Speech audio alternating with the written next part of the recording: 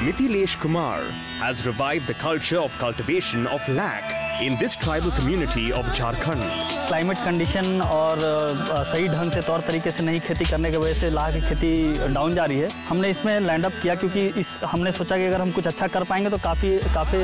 Volume में family को impact कर पाएँगे Watch how lac cultivation is empowering the tribal people with livelihood opportunities only on Amazing Indians this weekend on Times Now.